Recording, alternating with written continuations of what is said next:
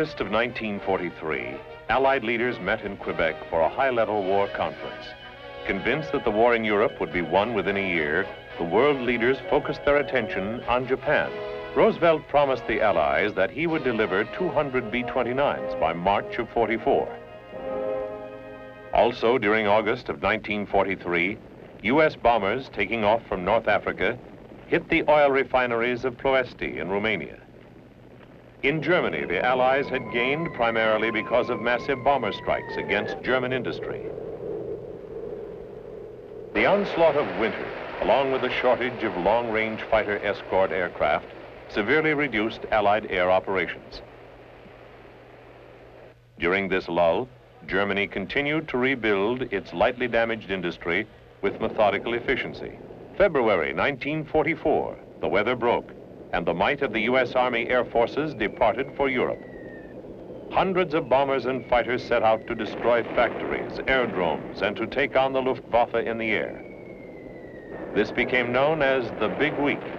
It was, in fact, an invasion of German skies. In March, U.S. fighters and bombers reached Berlin for the first time, far into the interior of Germany. U.S. aircraft brought the war to the doorstep of the Reichstag. By this time, March 1944, U.S. forces in Italy had captured air bases from which American planes could more easily reach industrial and military targets in Austria, Czechoslovakia, and southern Germany. On the 5th of April, a force of 90 B-17s and 146 B-24s began the 600-mile run on the heavily defended oil refineries of Ploesti. Thus, the Army Air Force began the oil campaign. By May, American bombers and escorts were encountering heavy ground fire and smoke screens designed to obscure the targets. Enemy fighters outnumbered American fighters three to one. Destruction of the enemy fuel supplies would give the Allies a great advantage in the invasion battles to come. In England, Plymouth Harbor was an armed camp. Troops were massed for the assault on Europe. Eisenhower addressed the men with these words. Soldiers, sailors, and airmen of the Allied Expeditionary Force, you are about to embark upon the great crusade towards which we have striven these many months. The eyes of the world are upon you. 5th of June, 1944. U.S. aircraft attacked coastal defenses and transportation and supply routes. Searched the sky for the Luftwaffe, but Germany had concentrated its air power to protect the homeland. Under cover of darkness, airborne troops landed in France behind the German fortifications.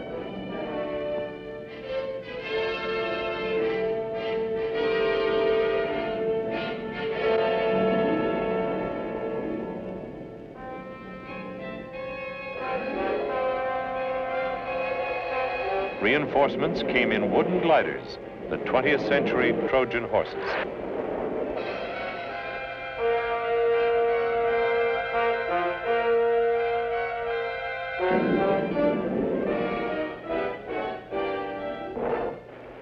While at sea, Allied armies prepared to hit the beach, facing high winds as they churned through rough seas. However, those landing early were lucky. For those who came over the following two weeks, encountered the roughest seas in the English Channel in 20 years. All along the Normandy coast, overwhelming waves of Allied troops poured into France, supported by 8,000 aircraft of the U.S. Army Air Forces and thousands of RAF aircraft.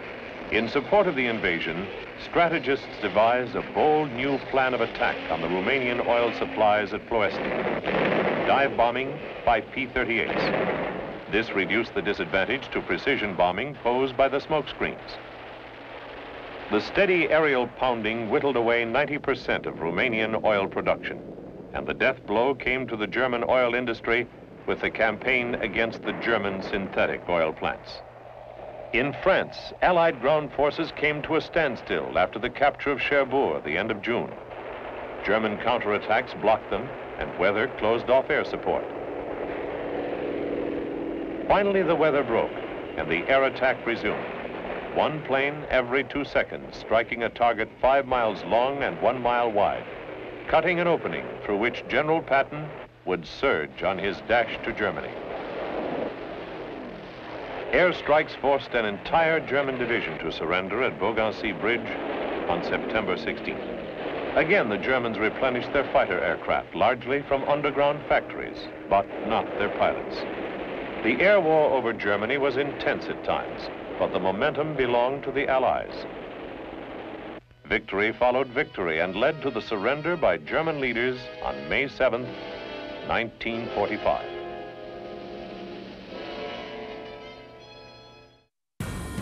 In the Pacific, Army Air Forces engaged in island warfare and air attacks against Japanese ships. Island by island, ship by ship, U.S. forces worked their way back to the Philippines, itself a chain of 7,000 islands.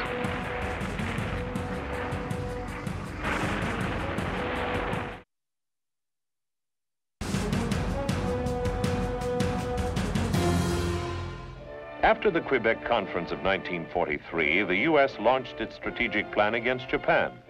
Using Chinese labor, the United States built a string of bases in China in preparation for the B-29s then in production. In April of 1944, the new bombers arrived in India. In June, 68 of the giant craft took off to bomb an industrial target in Japan on the same day that Marines landed on Saipan. In the Pacific, Army Air Forces engaged in island warfare and air attacks against Japanese ships. Island by island, ship by ship, U.S. forces worked their way back to the Philippines, itself a chain of 7,000 islands.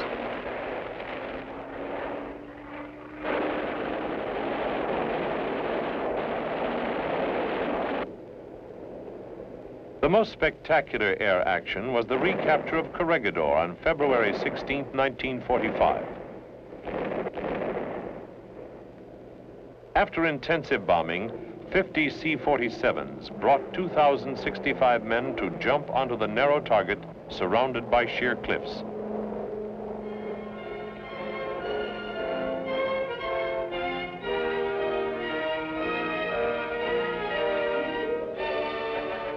In early March, General MacArthur returned to say, hoist the colors and let no enemy ever haul them down.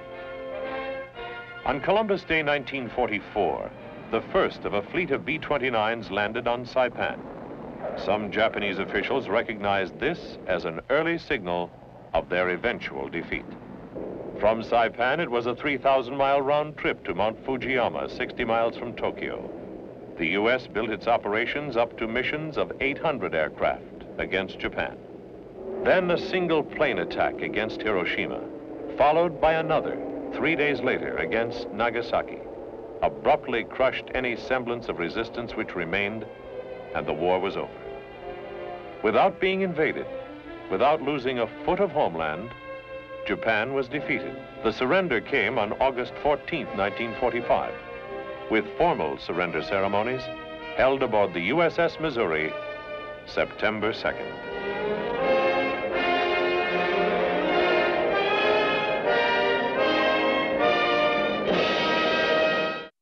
Russian-built MiGs operating in North Korea posed a dangerous new threat in the air.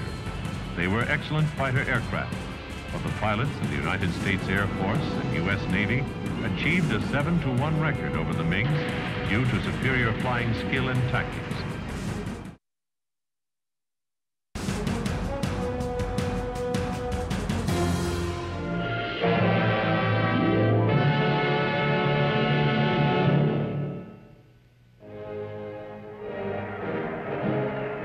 September 2nd, 1945 was a day of rejoicing for Americans. World War II had ended with the surrender of Japan.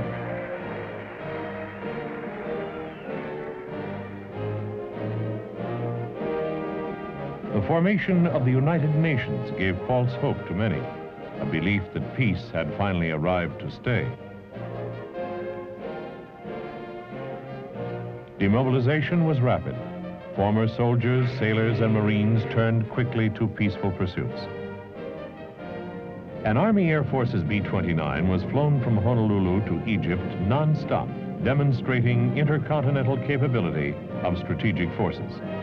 In the United States, the aircraft industry was developing a giant airplane, the XB-36. Six piston engines developed 3,500 horsepower each. Four jets each provided 5,200 pounds of thrust. It had a range of 4,000 miles. The B-36 became a major U.S. weapon in the Cold War that was developing between the United States and Russia. The jet airplane was born in World War II, and in 1946, the P-80 set a new speed record from Long Beach to New York. Flight time, 4 hours, 13 minutes. In recognition of the importance of air power, national leaders designated the Army Air Forces as a separate service. The United States Air Force was born September 1947. The follow-on model to the P-80 started to roll off the assembly line. It was an aircraft destined to make a name for itself in later years, the F-86. Over the Mojave Desert, a B-29 full of recording instruments dropped a 5,000-pound airframe, the XS-1, from its bomb bay mount. The aircraft carried 8,000 pounds of fuel, and Air Force pilot Captain Charles E. Yeager was the first man to fly faster than the speed of sound in level flight. In Berlin, the differences of opinion between the free world and the communist world blossomed into a very warm Cold War when Russians in East Germany decided to cut off two and one half million West Berliners from their food and fuel. The people and Allied occupation forces in Berlin were faced with what appeared to be a decision to surrender or starve. The only way into Berlin was by air. The United States and Great Britain used this route to supply the isolated populace. For 15 months, 300 planes and 20,000 men were committed to Operation Vittles. Daily, they airlifted 4,500 tons of coal, sugar, coffee, flour, butter, milk, and other foods to Berlin. At the end of World War II, the Japanese occupation of Korea had ended. By agreement, the United States accepted the Japanese surrender south of the 38th parallel, and Russia accepted surrender north of the 38th parallel. North Korea immediately geared for war production. The South concentrated on industrial expansion to produce consumer goods. Thus, the South was unprepared when on the 25th of June 1950, a North Korean invasion force crossed the 38th parallel heading south. The North Koreans were apparently convinced that no nation would aid the South Koreans, but they were wrong. The United States sent a fleet of B-29s to Okinawa within range of Korea, moved F-80s to southern Japan for immediate use across the narrow part of the dividing sea, and stationed F-51s at Daegu in southern South Korea. The immediate tactic was to mount airstrikes against North Korea, delaying that nation's efforts until ground troops could mass to repel the invaders. The United Nations committed member nations to assist South Korea, but the bulk of the job fell upon the U.S., and early fighting was from the air, as U.S. Air Forces went to work on enemy supplies, ammunition, and airplanes. Any aircraft for any job. Ground troops went to Korea in C-47s and C-54s. They celebrated the 4th of July 1950 in a foreign land. The initial communist invasion drove Allied forces into a small area around Pusan in the southern part of South Korea. By August, U.S. and UN troops had dug in along the Pusan perimeter to buy time and keep a toehold on the Korean peninsula. F-51s provided a close air support. B-26s and B-29s flying from Japan attacked North Korean airfields, giving the F-51s air superiority. Again, the U.S. had to gear up. Air crew training became a high priority.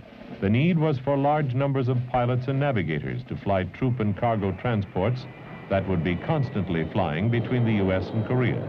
The U.S. needed crews for heavy and light bombers and fighter pilots to learn the skills of flying the new jet fighters that were coming off assembly lines.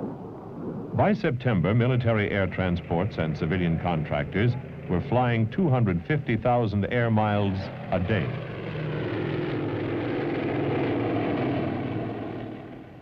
With preparations complete, the UN offensive began. B-29s dropped thousands of bombs, destroying North Korean transport, supplies, and communications.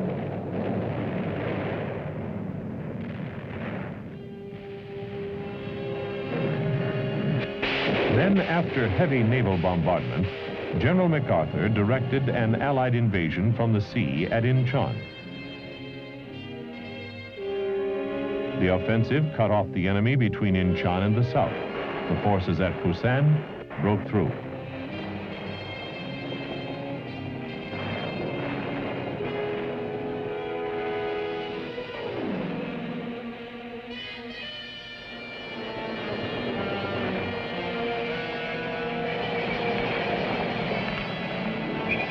Combined air-ground forces took another leapfrog jump in October.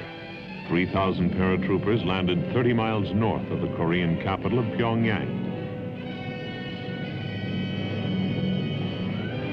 Again, the U.S. shut off large North Korean units from their supplies.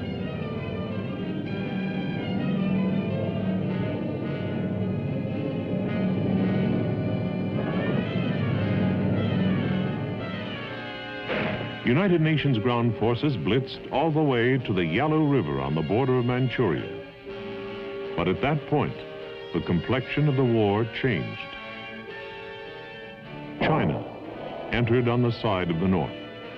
Under massive attack, UN troops withdrew southward, consolidating their forces in the vicinity of the 38th parallel, the original border set up between the North and the South.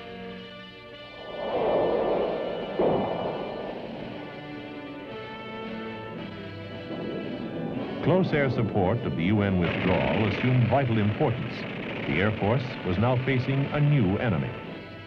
Russian-built MiGs operating in North Korea posed a dangerous new threat in the air. They were excellent fighter aircraft, but the pilots of the United States Air Force and U.S. Navy achieved a 7 to 1 record over the MiGs due to superior flying skill and tactics. 39 Air Force pilots became aces.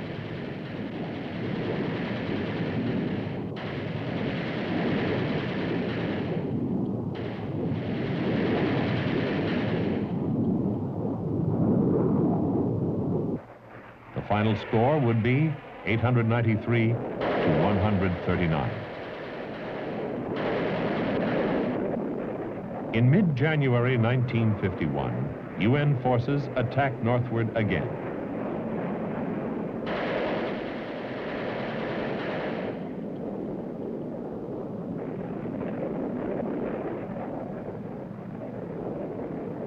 In mid-June, the North Koreans asked to go to the peace table.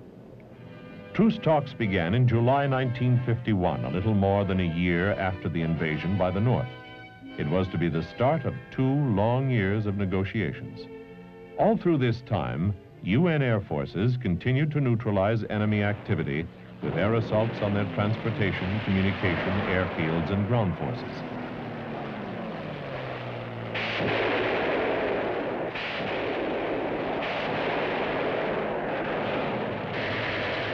Even before hostilities ended, the two combatants agreed to exchange prisoners.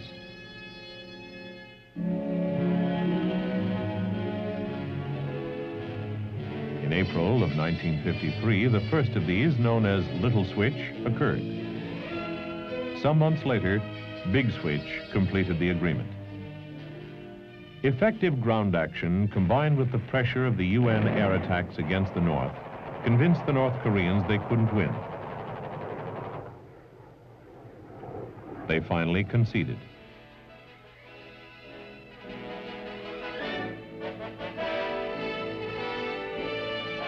On July 27, 1953, the war ended.